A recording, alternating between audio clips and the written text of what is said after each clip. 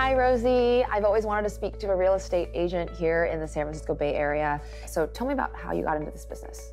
Well, I got in the business, started working as a temp agent for several different home builders. And so I really wanted to learn how they sold, how they built, and how they marketed their homes to new home buyers. And I wanted to use that and incorporate that to the way I sell. So with your background in understanding how homes are actually developed and built from the ground up, you're taking that expertise and moving that into real estate for the end consumer.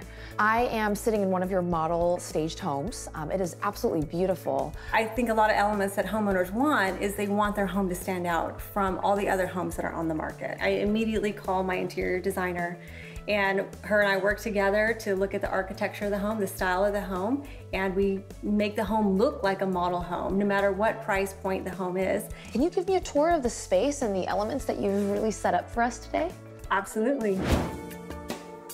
So this is a great room. We're in the master bedroom. We want the homeowner to really feel relaxed when they come home. So we're taking advantage of the views that this bedroom has to offer and keeping the palette neutral so that the eye line, the attention goes straight out the window. There's not only a beautiful view, but all the little details and the shiny elephants, the mirror. I just feel like I could hang out in here for, for a while. Wow, this is a beautiful and well-lit bathroom. Absolutely, this is a great space. The windows are facing east, so we have a lot of morning sunlight that comes in. It's a wonderful place to wake up in the morning and get ready for the day. A lot of your homeowner clients, I'd imagine, still live in the home while you're staging it and showing it to prospective buyers. What does the homeowner have to do? Well, you're right. The homeowners are living here. And so we just ask them to pack up their personal belongings. From there, my designer and I can come in and bring our own staging accessories and give that bathroom, the luxury master bath, the glamorous feel.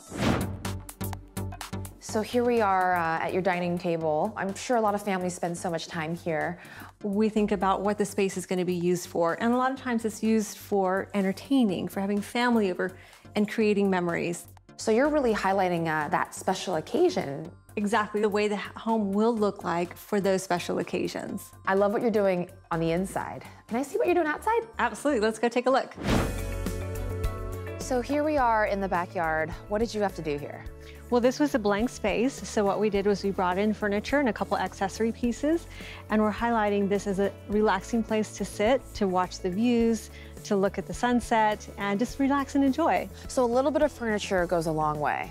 Definitely does, especially the placement. Rosie, thanks so much for the tour. You are excellent at what you do, and I know your homeowners must be so happy with your work, Rosie. I'm happy to have been able to meet you. Thank you so much. Thanks so much.